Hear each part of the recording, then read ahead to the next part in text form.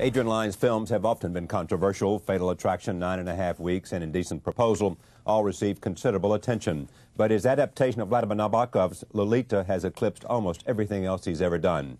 He began shooting the film in 1995. It is only now being shown in the United States. Initially passed on by every major film distributor, Lolita will air this Sunday at 9 on Showtime. The film stars Jeremy Irons in the role of Humbert Humbert. Here is a clip.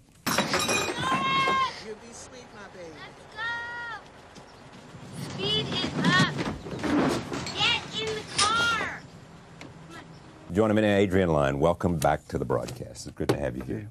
Let me talk about the process first before we talk about the right, film right. that you have made. What happened? Um, God, at what stage? In the I mean- beginning, you, you were hired to direct the film. Yes. Um, I actually read the novel about 10 years ago when I was doing Jacob's Ladder. Spoke to Mario Kassar, who then was head of Carolco, that Right, was then in business. He bought the rights of it for me on spec. I then worked with four writers. I worked with uh, David Mamet, I worked with Harold Pinter, I worked with James Dearden, trying desperately to translate. If they can't do it, who can? Well, Yeah. there you go. And and eventually worked with Stephen Schiff. And it was tough because it's, it's such an extraordinarily complex novel. Um, it doesn't fit into the usual kind of three-act pattern, if you like. It's a five or six-act piece. And eventually, ev- eventually Stephen Schiff uh, um, cracked it. You know, with myself, we worked very hard together, and it was just a very good relationship with him. So what happened, though? So you went out and then cast it. You had a script, and what did you do then? Well, we had, we had a script. We um, it was a road movie. I wanted the movie to be a road movie um, because I didn't feel in the other film, in the Kubrick film, Right. and this was tough. I've tried to try to avoid talking about the other movie, but it's always a little tough.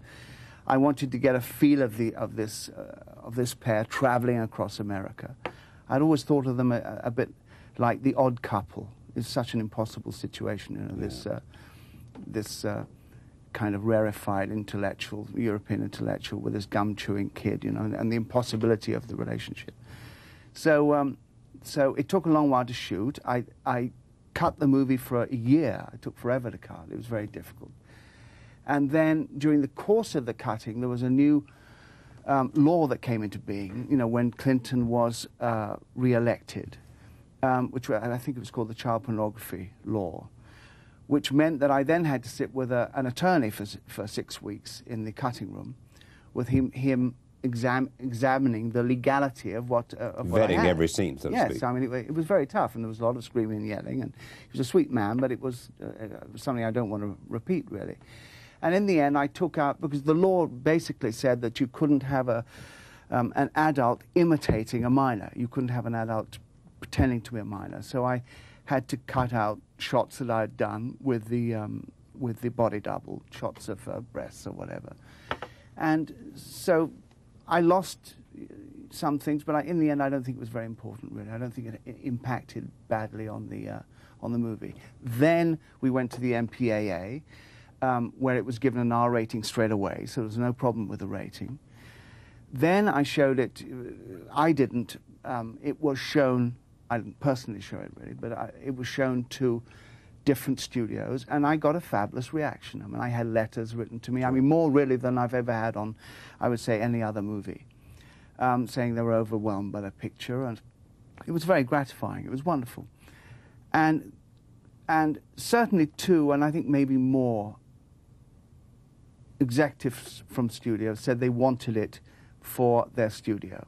And then they kind of faded away. And I, I, and I was given to understand that corporate decisions were taken, decision, decisions above them, not to get involved with this um, subject matter. And I do think that the climate in this country has changed quite enormously, really, um, in the last five or six years. I mean, I, I, this movie would have come out easily in the 80s, no problem. So the poli- the political climate in America has changed, and so therefore there was a the studios thought there was a risk factor with this movie and didn't. It was too hot to handle. Yes, it was nothing. Honestly, it was nothing to do with financial considerations at all. Because I mean, initially, I think the French probably asked for too much money, but then they dropped the price very quickly. You know, I think that, that people make a good living in Hollywood saying no. It's much easier to say no. It's much more difficult to stand up and be counted. And Your passion to make this was what? What did you want to say in the film? Well, I didn't want to make a remake. I was very anxious to make a movie that reflected the novel. I mean, the novel, novel is horrendous. It's horrendous what this man does to this kid Lolita. and yet, it's hilariously funny. Right. Um, you end up feeling, against your will, really, sympathetic towards Humbert. I mean, you really kind of at times sympathize with a man. And ultimately, it ma- manages to be a love story. So it, it was complex and, and fascinating and, and, and, an extraordinary challenge, really. Um, and if you wanted to get at one thing, it was what? To explore well, I one wanted thing. To, I wanted to do a movie that was kind of shades of grey. I wanted to do a movie that was disturbing. It's a, it's a disturbing novel. You come away kind of feeling be- feeling disturbed and I wanted the same thing to happen with a movie. And I think one of the reasons maybe why I've had problems with with this film is that people are disturbed by it as they should be. And they don't have a kind of a pat black and white reaction. I mean I didn't want to do I didn't want to make Humbert Humbert Jeremy Irons Humbert Humbert. I didn't want, want to make him a kind of just an evil rat of a man. Because I don't think I kind of felt that about the other movie, really. I, I never really felt that, that in his screwed up way that he really did love her. And I th- at the end of the movie, you know, when he sees her pregnant and polluted with another man's child, as Nabokov said, he, he says she's the, the, dead leaf echo of the nymphet that he had once known. He, but he loved her then. Now she's no longer a nymphet. And I think that was really important. I think it was a kind of a redemption for this man at the end of the. Uh, at the end of the novel. I don't think he would have gone chasing around after 12 year olds, after, if she'd wanted him back, and of course she doesn't, Lolita. I, uh, I don't think he would have, uh, as I say, chased around after 12 year olds. Would he have been, would he have been so mesmerized and, and caught up in her, hot for her, mm-hmm. if he hadn't had the experience with his first love? No, I think that's really important. I mean, his love for Annabel as a 12 year old. She was also 12. And he was uh, 12, and they were yeah, 12. On the Côte d'Azur in, in France. And he, he, he, loved her for three months. He was obsessed with her for three months. And, he, and then she died of typhus. And, but he's, and again, as Nabokov says, he says that the poison was in the wound and the wound never healed. And I think that he's, he was a man really who never grew up. He was a man who spent the rest of his life looking for Annabel and eventually finding her um, with, um, with Lolita, in Lolita. So I think the background was important in making him not just a kind of a generic pedophile, although he obviously is a pedophile. Yeah, he is. I mean, and, and do you, did you feel the compulsion to say that in some, you know, make sure that you weren't backing away from that, absolutely, as you just said? Absolutely. I mean, I mean, when they, uh, uh in the, in the... Because I think some people want you to make a moral judgment about pedophiles. Well, in the scenes of sexuality. I mean, Nabokov makes a point of saying that she cries afterwards. She cries endlessly. So I put that in the movie. I think it's very important to, to just to keep on reminding people that she's just a kid in the end. But equally, I think it's important and dishonest to feel to say that sexual, sexuality kind of flies in the window at 18 when it's legal, when patently it doesn't. Yeah. So is that there's a lot of complicated stuff, and I think that it frightened people this movie in um, in uh, Hollywood because maybe it was close to home. Meaning? Well, mean you, you, know you can you can. Uh, it's easy enough to make a movie. Um, movies about necrophilia, for example, have, have been made in Hollywood, and nobody blinks an eye.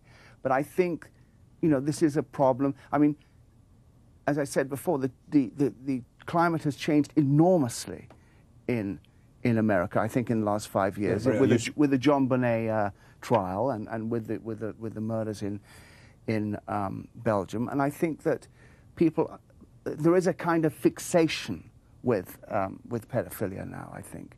Somebody told me a story which fascinated me, actually, that, you know, Mouton Rothschild, the, uh, the, yes, the winemakers, right. well, last year, they've been doing a series, over the years, they've been doing a series of, um, of different artists, you know, Picasso, Matisse, etc. And last year it was Balthus, you know, who does, specializes pretty much in, in kind of pre adolescent kids. And he did a line drawing for the Mouton Rothschild label, which on the label, and it, it was just, you know, quite innocent, really. Uh, you know, I've seen it, but in this country, the the bottle of wine goes out without the drawing on it. It's the only country in the world where you can't see this Balthus drawing.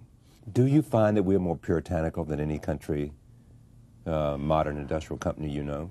Well, I, I, you know, I live in France a lot of the time, so I have this contrast endlessly. You know, you, you watch the television. Well, I mean, you really do. I mean, uh, you know, you watch the television and you see you know, people naked, you see uh, you know women's breasts, and you don't you don't give it a second thought. I saw something on E, e Entertainment the other the other night, and and it's this massive pixelation. And you know, you can't see their bodies. I think, well, why are they showing this? You know, and and it has to be unhealthy. It has to be wrong that kids are, watching this and, and getting a, an inherent kind of feeling feeling that there's something wrong with a with a human body.